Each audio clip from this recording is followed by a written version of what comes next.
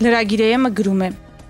Հայաստանի տարածքային զարգացման ու յենթակառուցվածքների նախարար Սուրեն Պապիկյանը հայտարարել է, որ Հայաստանը հրաժարվել է հայկական ատոմակայանի շահագործման ժամկետը երկարաձգելու համար աշխատանքի ռուսական վարկից։ Հայաստանն աշխատանքը կշարունակի բյուջեի միջոցներով։ Նախարարը հայտնել է, որ չեն եկել համաձայնության վարկի հետագա ժամանակացույցի առումով եւ կայացվել է վարկի շարունակությունից հրաժարվելու մասին որոշում։ Պարզ չէ թե հատկապես ինչ ծավալի փողի մասին է խոսքը, որովհետեւ ատոմակայանի վարկի միջոցով աշխատանքը ընթանում է արդեն մի քանի տարի դեռևս հեղափոխությունից առաջ առաջ։ Ըստ ավելի վաղ եղած տեղեկությունների, որոնք վկայակոչում է ռուսական Ինտերֆաքսը, մինչև այժմ կատարվել է մոտ 200 միլիոն դոլարի աշխատանք։ Ռուսական վարկը լինելու էր 270 միլիոն դոլար եւ 30 միլիոն դոլար էլ Ռուսաստանը տրամադրելու էր որպես դրամաշնոր։ Այդ ամենի նպատակն ատոմակայանի նորոգումն է, որը թույլ կտա մինչև 2026 թվականը երկարաձգել հայկական ատոմակայանի աշխատանքը։ Ինչու համաձայնության չեն եկել հայկական ու ռուսական կողմերը, եթե նախկինում աշխատանքը ընթացել է կարծես թե սահուն։ Արդյոք ռուսական կողմը որոշել է կոշտացնել վարկի պայմանները հայ-ռուսական հարաբերության ներկայիս բարդ շրջափուլի պայմաններում, երբ խնդիրների արկայությունը չի ཐակցնում արդեն որևէ կողմ։ Այն բանից հետո, երբ Հայաստանը ներկայացրեց էներգետիկ միջազգային շուկայում գնանկման ֆոնին Հայաստանի սահմանին ռուսական գազի գինն իջեցնելու առաջարկ, Ռուսաստանը բավականին բաց տեքստով սկսեց անբարյացական վերաբերմունք Երևանի նկատմամբ։ Խնդիրը սակայն ամենևին գազի հարցը չէ, հայ-ռուսական հարաբերության խնդիրը շատ ավելի խորն է միաժամանակ թերևս པարզ Հայաստանի ինքնիշխանություն։ Ռուսաստանը չի ընդունում խաղի այն կանոնը, որ Թավշյա հեղափոխությունից հետո առաջ է քաշում Հայաստանը հարաբերություն ինքնիշխանության սկզբունքով։ Մոսկվայի համար Հայաստանի ինքնիշխանությունը գենետիկ անհամատեղելիության մակարդակի է, այսինքն ինքնիշխան Հայաստանը մոսկովյան գոնե վերջին 100-ամյակի քաղաքական ստրատեգները դիտարկում են իբրև ռուսական կայսրության սպառնալիք։ Թավշյա հեղափոխության օրերին եւ առ այսօր վարչապետ Փաշինյանը հայտարարում է, որ հեղափոխությունը եղել է առանց արտաքին որևէ ուղղվածության։ Այդ հայտարարությունն անշուշտարվում է նաեւ Ռուսաստանից որևէ քեն զսպելու համար։ Սակայն բանն այն է, որ Մոսկվայի համար խնդիրը ամեն ամենևին այն չէ, որ Հայաստանը կարող է գնալ արևմուտք։ Մոսկվայի համար Հայաստանի ինքնիշխանությունն է խնդիրը, երբ որևէ հարցում Հայաստանը կարող է ասել ոչ։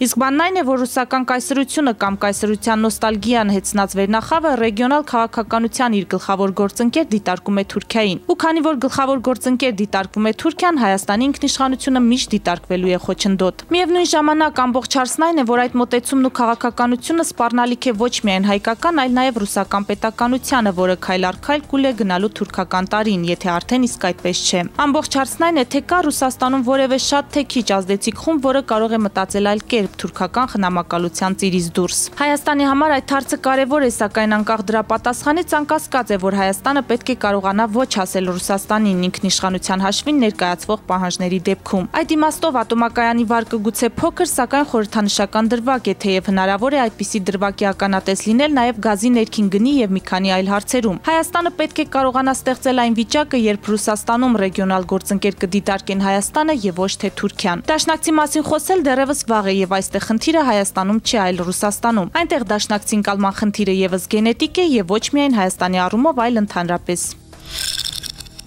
Առաջին էմը գրում է. Ուժային բլոկում տեղի ունեցող կադրային նշանակալի փոփոխությունները սովորաբար արտացոլում են քաղաքական ղեկավարության վճռորոշ եւ կոշտ կամք եւ եւ ընկալվում այդ տրամաբանության շրջանակում։ Այդպես է գործնականում բոլոր պետություններում, ըստ այդմ Հայաստանում նախորդին տեղի ունեցած ԱԱԾ պետի, ոստիկանապետի եւ զինված ուժերի գլխավոր շտաբի պետի փոփոխությունը, անկախ կոնկրետ կամ հավաքական բուն շարժարիտներից դրանց նմանությունից ու տարբերություններից կարող է դիտարկվել հենց այդ տրամաբանության շրջանակում։ Համենայն դեպս այդպիսի հաղորդագրություն հղելու անհրաժեշտություն վարչապետ Փաշինյանի համար առաջացրի նրա անդիմա նախախոսներն այսպես ասած ընդդիմադիր դաշտում գործող տարբեր ուժեր, թե խորհրդարանական, թե արտախորհրդարանական, որոնք վերջին 1-2 շաբաթների ընթացքում բավականին ուժ գնացրել էին Փաշինյանի եւ նոր իշխանության դեմ հռետորաբանությունը ընդཐུպ պաշտոնանկության եւ հրաժարականների օրակարգով։ Հետևողական այդ մարտավարությունը պետք է բերեր որևէ արձագանքի, քանի որ լրությունը հանրության մոտ ընկալվելու էր իբրև Փաշինյանի թուլություն իշնել իր հերթին կարող էր ունենալ հանրային հոգեբանական շղթայական արձագանք։ Կորոնավիրուսի վարակի աղթահարումից անմիջապես հետո ուժային բլոկի 3 առանցքային պաշտոնյաների փոփոխությամբ վարչապետ վարչապետ Փաշինյանը ակնհայտորեն լուծում է հանրային հոգեբանության փլուզում թույլ չտալու հարցը։ Դա իհարկե միակ հարցը չէ, որ լուծվում է առավել եւս հայտնի չեն փոփոխությունների բուն այլ շարժարիտներ եւ մենք գնահատում ենք միջավայրային պատճառահետևանքային առերևույթ դաշտը։ Հանրային հոգեբանության խնդիրը չափազանց կարեւոր է ոչ միայն զուտ հեղափոխական քաղաքական իրողություններից բխող տեսանկյունից, այլ նաեւ համաճարակային իրադրության, որտեղ իրավիճակի կառավարելիության առումով էական նշանակություն ունի այն, թե հանրությունն ինքը որքանով է համարում, որ իշխանությունը իր ձեռքն է պահում կառավարելիության թելը կամ ղեկը։ Ուժային բլոկի փոփոխության կառավարության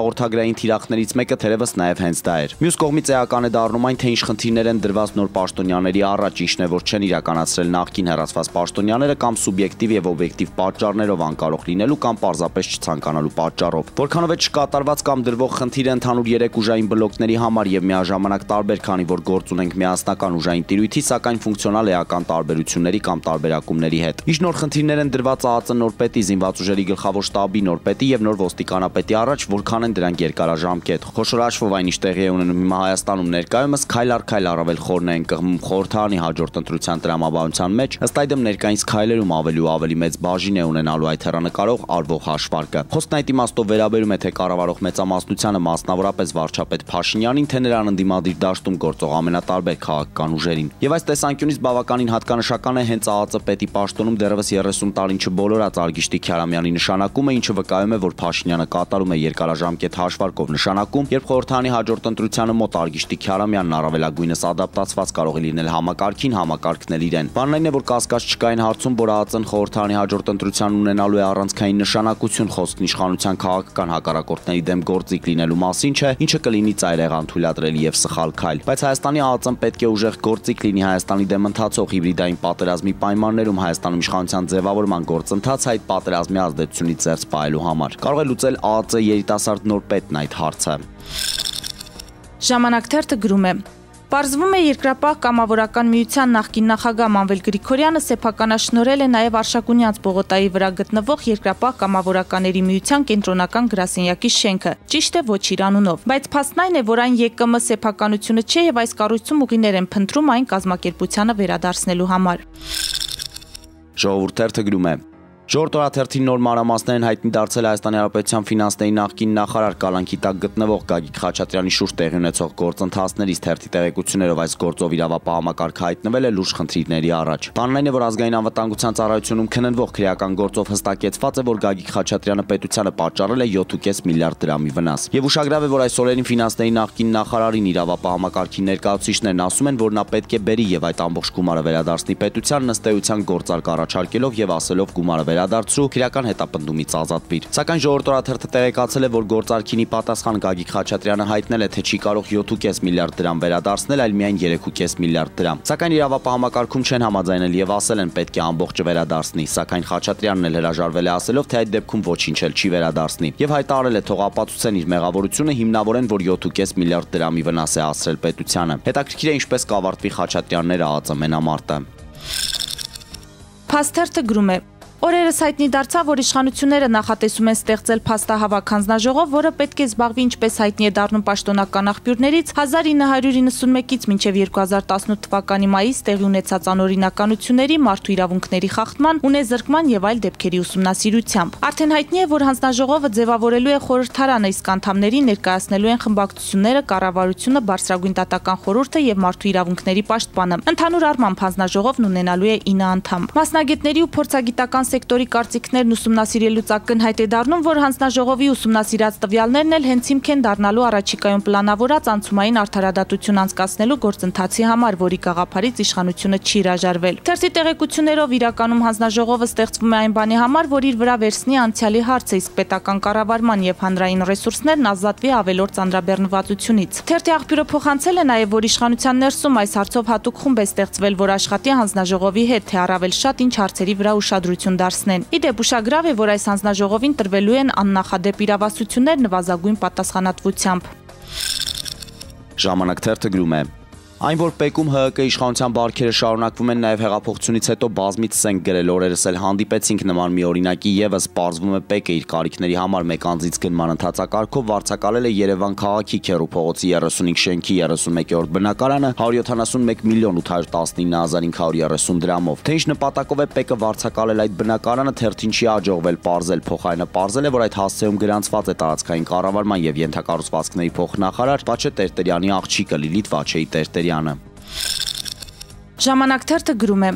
Կառավարությունը պատրաստվում է կրթության մասին օրենքում ավելացնել այսպիսի պարբերություն՝ հաստատված ցանկում փոփոխություններ եւ լրացումներ կատարելու արգելքը չի գործում հայտարարված արտակարգ դրության պայմաններում եւ կարող է հաստատվել նոր ցանկ։ Գործող օրենքը սահմանում է, որ բարձրագույն ուսումնական հաստատությունների տվյալ տարվա մասնագիտությունների եւ ընդունելության քննությունների ցանկը կրթության պետական կառավարման լիազորված մարմնի ներկայացմամբ հաստատում եւ մինչեւ տվյալ տարվա դեկտեմբերի 1-ը պաշտոնապես հրապարակում է Հայաստանի կառավարությունը։ Հաստատված ցանկում փոփոխություններ եւ լրացումներ կատարելն արգելվում արգելվում է։ Այս փոփոխությունը հնարավորություն կտա փոփոխություն կատարել ընդունելության քննությունների ցանկում եւ ընդունելությունը կազմակերպել ընդունելությանը ընդամենը 1 քննության արդյունքների հիման վրա։